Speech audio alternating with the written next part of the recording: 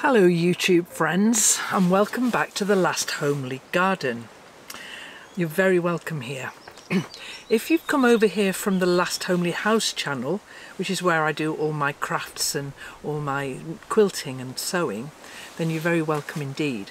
But if you've arrived here and you don't know what I'm talking about, then just let me explain that this is a second channel that I've launched from the Last Homely House to talk about all the things that go on in my garden. So I'm Kate and I live here in this cottage in the north of England. Uh, it's um, quite high above sea level. This is the third video that I've made for this series and in the first one I explain all about the conditions that I have here and the little plot of land that I'm custodian of. And so uh, it's June as I'm talking to you now, uh, just past midsummer. It's been glorious weather. In fact, we've had uh, here in the UK, we've had a bit of a heat wave for six, seven, eight weeks of no rain. So I've been used to going round every night with the hose pipe watering everything in sight, especially here in the polytunnel, which of course, uh, you know, dries out very quickly because it gets quite hot in here. Then, just a few days ago, we had a massive change in the weather here and torrential rain and the temperatures dropped by quite a few degrees. It's still quite warm, but it's nothing like as hot as it was and we've had mercifully we've had rain. And the ground has been grateful and has been soaking up all that rain and the garden's really responded uh, and the growth now is fantastic. So uh, but it has meant that we've had a couple of rainy Tuesdays with my gardening team. So I have help in the garden I couldn't, I just couldn't do all the things that I do uh, that needs to be done in a garden this size uh, on my own. So the last couple of times that the gardens have been um, have, has been pretty wet. Uh, and so I want to show you one job that uh, they were doing. Uh, it wasn't pouring with rain. I mean, we all did get a little bit wet. Let's be truthful here. Yeah, we did. Uh, but the job that in hand was, uh, we managed to complete that. Uh, and then uh, there was a lovely day where it didn't rain and you'll be able to see at the end what I did with some of my wonderful garden bounty. And so the rain has been wonderful, really, really spectacular. Uh, to see the changes in the garden. Sometimes I talk about gardening being like warfare and I do have uh, some problems in the garden like all of you do as well I'm sure but we have a resident deer that lives in the front woods here. And it's so far touching wood very quickly has not been in my garden this year but it has been in my neighbours gardens eating some of the vegetables that they've planted. Uh, so that's been a bit of a nuisance. Uh, yeah. I also have like everyone who grows brassicas probably white butterfly who come and lay all their eggs on my um, brassicas and so I like purple sprouting broccoli, kale, cavolo nero, um, I like all of those things and I like to eat them, not the caterpillars. So one of the jobs that we did in this last couple of weeks was to build a protective covering for one of those beds that's got most of those brassicas in. So Adam and I were doing that. So that was fun. Here in the polytunnel Everything's growing up amazingly well. A few borage. Why did I grow so much borage? There's um, three, four, five, six, seven borage. Now borage, uh, uh, I'll show you a mature borage that I have in my garden but they grow like weeds, literally like weeds, and they self-seed and they go absolutely everywhere. So I think I might have to find a place to put those where I don't mind if they run riot. and then as, as well down here what I've got is um, a tray of radish ready to go out. I could have direct sown them but I didn't have a space for them and I do now. And there's quite a few other bits and pieces that are waiting to go out but mostly everything that's been in these little um, greenhousey things at the end all waiting to go out has gone out. So the garden's looking particularly wonderful at the moment with all the planting that we've been doing and all the rain. So that's what today's video is all about. I just post these videos when I've got something I want to talk about or when there's been something happening in the garden. So not to a regular schedule at all. But I really do appreciate you calling by and it would be lovely if you wanted to subscribe. Last time, uh, in the last video, number two, I'm going to try and number these videos so that you can find them more easily, so that they're in some sort of order as the season unfolds. And in the second video, I told you that only 9% of the people who watch the videos were subscribed. It would be wonderful if you wanted to subscribe to the channel. It's a simple matter of clicking that little button in the corner there and putting on the notifications bell because I'm not going to be posting to a regular schedule. Over on my Last Homely House channel, I have a regular schedule there and we've just reached our 100,000 subscribers on the YouTube channel The Last Homely House. So I couldn't be more thrilled uh, to have got that um, amazing uh, milestone. Thank you so much to everyone there. So let's do the same for the Last Homely Garden, shall we? Hit the subscribe button. now, let's get into the video. So it's raining, but it's actually really rather nice rain. It's getting a bit heavier now, but uh, it's we're grateful for the rain because we haven't had any for about six weeks. Uh, now, I've got a lot of willows.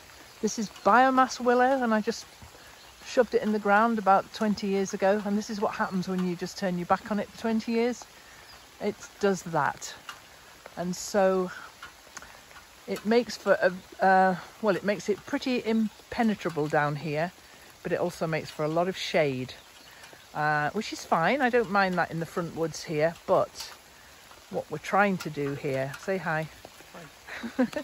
uh, we're trying to garden in here uh, in the uh, hen run garden. So today, some of this willow, there's so much of it that it's not going to make much of an impact. Some of it is coming down. So we're taking down, or I would say we, they are taking down some bits of willow to provide a little less shade here and we've got plans for what we're going to do with all of this which we'll come to in a future video I think.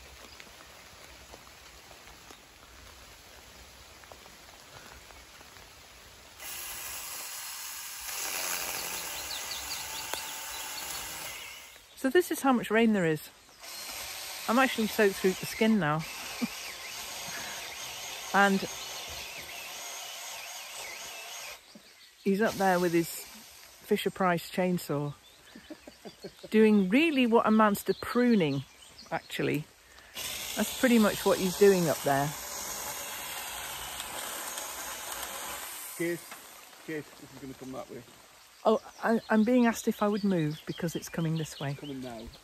Simba! Okay, that's good. So you can see that the kind of size branches that are coming down.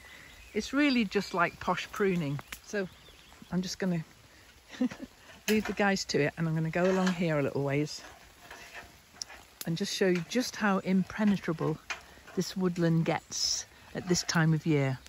It's the middle of June when I'm filming this and it's next to impossible to get through the woodland into the front woods.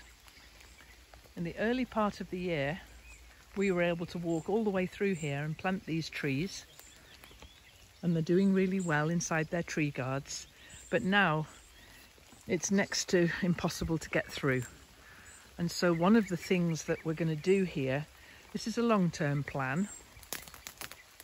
We're going to be doing this over the course of this year and next year is make some pathways through here and clear some paths. And so the uh, the trees the branches that Adam's taking down now we've got a bit of an idea a plan about how we're going to use those to help make the pathways. And so I'm getting very very wet now. So I'm going to go back into the house, dry off a bit and get, uh, get a, oh, hang on, here he comes. Watch out now. Here it comes, here it comes.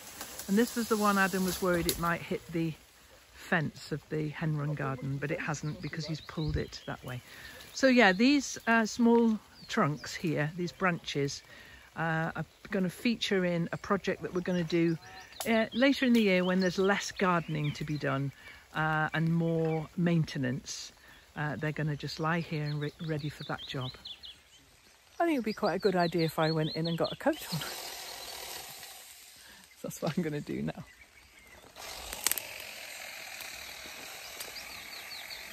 You see if we can look down one of these tree guards. Oh yes, look. There you go.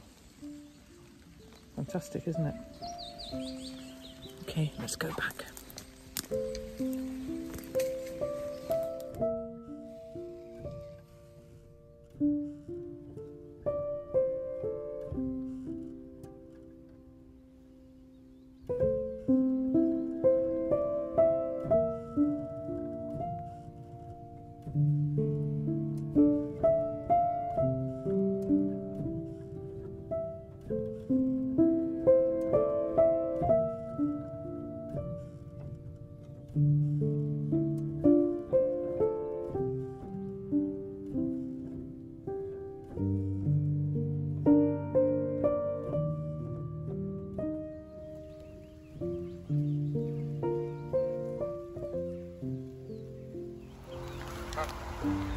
While the guys are here,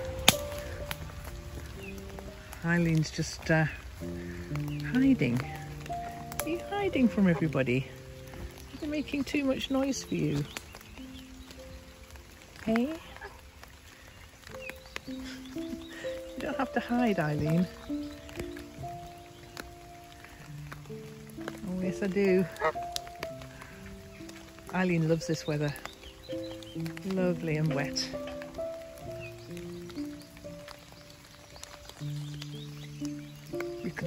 When they've all gone. It's a bit more suitable. So, what's lovely about the work that the guys are doing today uh, in the front woods, and it gives us an idea that as we walk through the garden past you know, the bits that they usually work on, which is the veg beds and the all of the stuff that's happening in the garden. You know, this bed looking particularly good at the moment. Planted it last time. What we're doing here though is right here. It's very, very short distance away. Through the gate into where Eileen lives.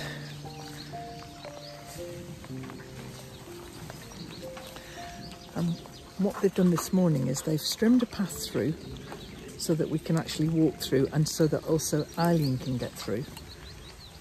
And what we're doing here this morning is um, now I'll turn us around. Busy. Every time I knock the tree, I get soaked again. Of course you do. of course you do.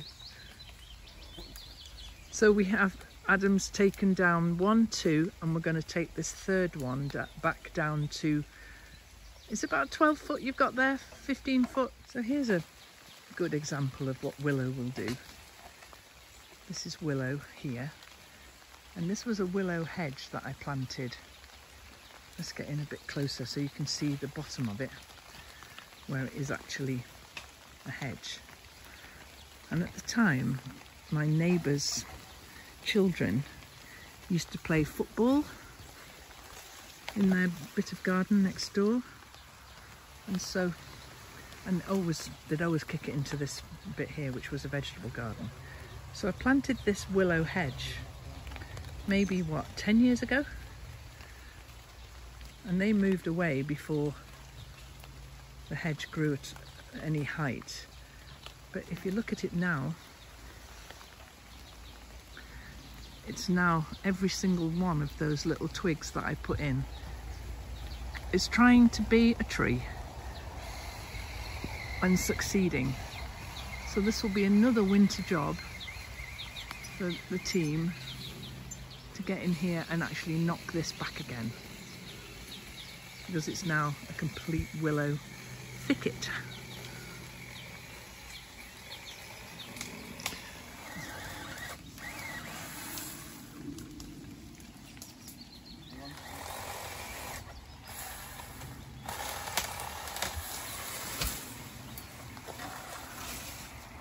Good. I wasn't catching it. It's very good. but here's a bit of video that I made last week when the gardeners were here. And gooseberry time. It's gooseberry season. So I picked enough for this dessert I wanted to make. And quite prickly. And topped and tailed them all. Now, gooseberries are very tart. They need a lot of sugar with them. And so what I had in mind was to make a gooseberry fool, which is a lot of cream, a lot of cream. And these gooseberries have been cooked with sugar and some elderflower cordial. And that's a bit of the cooking liquid just to loosen everything off. Then I stuck it all into my little pottery bowls that I made. And there we go. That was for break time last week. I hope you've enjoyed this latest visit to the Last Homely Garden. Thank you so much for watching, and I will see you next time with something else.